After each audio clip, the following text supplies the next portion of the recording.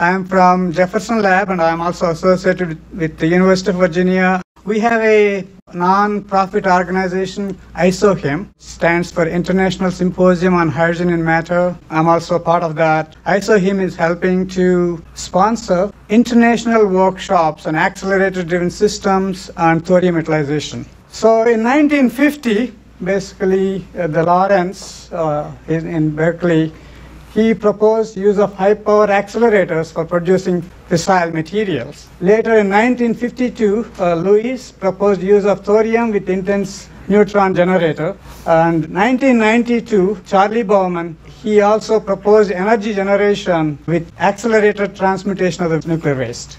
And 1993, Carlo Rubbia from CERN came up with the idea of energy amplifier most interesting thing why, uh, though it was proposed in 1950s, these systems were never built mainly because the cost of generating neutrons per gram at the time of the original proposal was uh, something like 10 to the power of 12 uh, dollars per gram. Jefferson Lab with its uh, SRF technology built the first uh, spallation neutron source for Oak Ridge, the main LINACs the cost of the neutrons from 10 to the power of 12 have come down to 10 to the power of 6. So that's the six orders of magnitude reduction in cost of neutron cost per gram. And this technology is further evolved, and we believe uh, now you can get it uh, probably much lower than that. If you want to learn about progress India has made in the thorium energy sector, you need to read an article published by Physics World, volume 23 in October 2010, Enter the Thorium Tiger. India has a unique vision for a secure nuclear energy future based on thorium. As the UK enters a new era of civil nuclear collaboration with India, this gentleman named Matthew Chalmers tours India's nuclear labs with a British High Commission team helping to bring physicists from both countries together. So this was a big uh, article in the physics world. What I am doing from the American side is, you know, India and US are, I think, the two largest democracies. And in the US side, we have accelerated technology, and India doesn't have. And India has the reactor technology, which we are lagging behind, I think, about 40 years now. If we can bring these two together, I think we can bring this uh, system uh, to really practice in within a short time, between five to 10 years. So we hope it can be done. Let us see where it goes. Indian Department of Energy has something like 13 laboratories. The top one is the Bhabha Atomic Research Center, which is about 70 to 80 percent of the DAE. Then there are Saha Institute of Physics, Nuclear Power Corporation of India, Variable Energy Cyclotron Center, Tata Memorial Center, Indira Gandhi Center for Atomic Research, where they are building the first fast breeder reactor, which is supposed to be online, I think, in 2013. And then there is a a new center, relatively speaking, it's called Raja Ramanna Center for Advanced Technology, and they actually want to build the accelerators for this kind of systems. Then they have other institutions. There is a national university formed, these constituent institutes I talked about, which is called Homi Bhabha National Institute. And we have actually signed a kind of a collaboration MOU with that institute at the request of Dr. S. Banerjee, who was the director of the BRC at that time. Now he became the chairman of uh, Atomic Energy Commission, Government of India, and also the Secretary Department of Atomic Energy. Basically, he projected the green energy thorium at a conference or at a presentation he gave at University of Virginia. Uh, you can see from his point of view, India has pretty large reserves of thorium, and so also is USA. If you combine these two together, I think we have about 50% of energy, uh, thorium reserves in the world. If these two countries can come together, I think, and develop this, it would be really fantastic. So India has a three-stage program, and this was put together by Dr. Homi Bhabha in the early 1950s, and they are now in the first phase is going on, and they're actually building the fast breeder reactor, as I mentioned. This is uh, happening in Chennai. It's under construction. This is going to come up, I think, uh, in 2013. And then they, they have this stage three program where they'll be breeding thorium uh, from these fast breeders. They believe availability of ADS will enable the introduction of thorium uh, right now, really, instead of going through this whole process.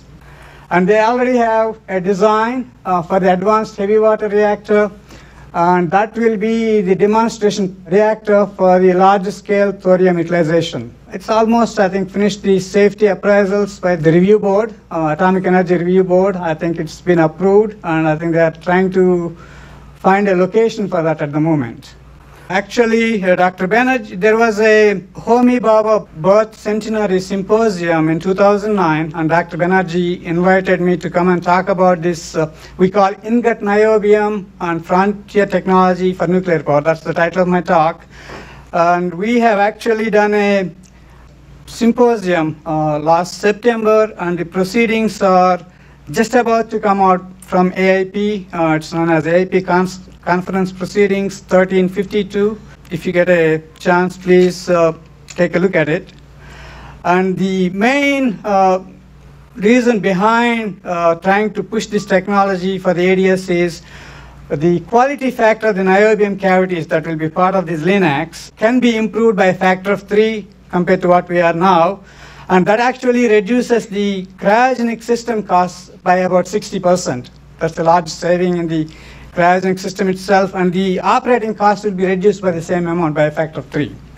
So that's the reason why the potential cost saving on the neutron generation per gram could be further reduced with this technology.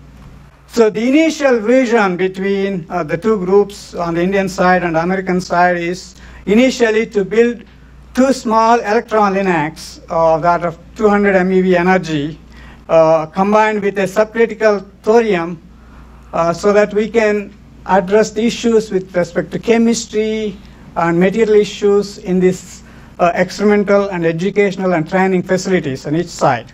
Uh, this is what we are hoping to do. And after that, probably the design I showed you, HWR, potentially one can be built on each side if this collaboration evolves the way we hope it will.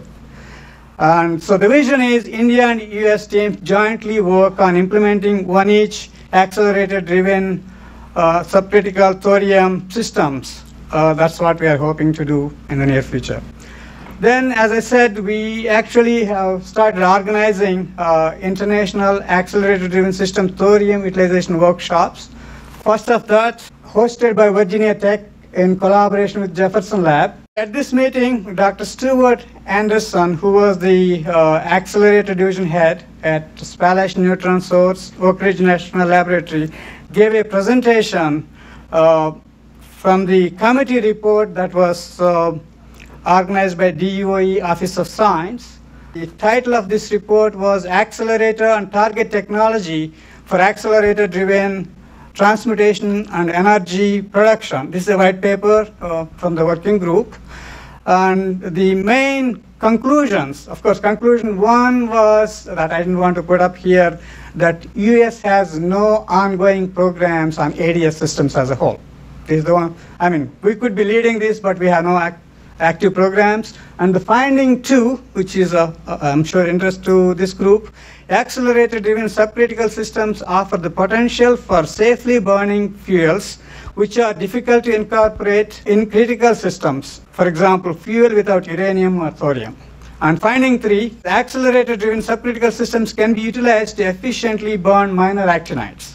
Finding four, accelerator-driven subcritical systems can be utilized to generate power from thorium-based fuels. And this is the uh, conceptual uh, ADS reactor presented by Dr. Banerjee at this presentation in Charlottesville last May, uh, where you basically have the accelerator putting the proton beam into this one, and you can see the uranium-233 here, and then thorium, and which gets converted into uranium-233. Do you have any questions?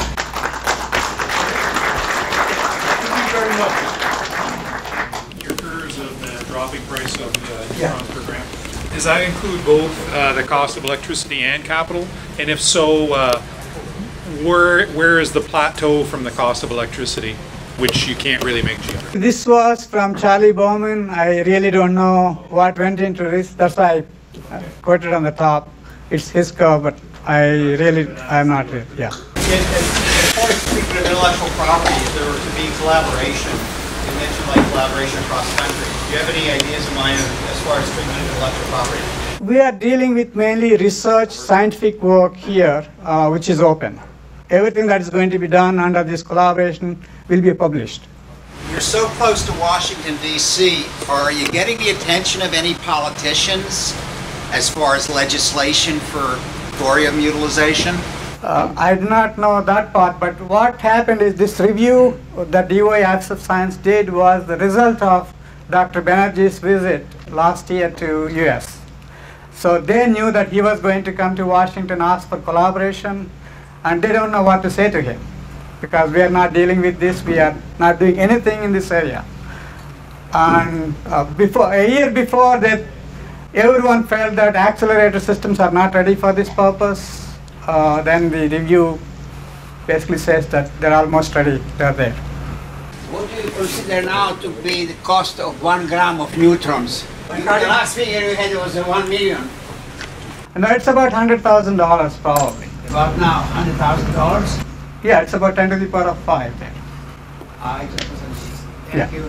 Okay, well, let's thank Dr. Ganapi. Thank you very much.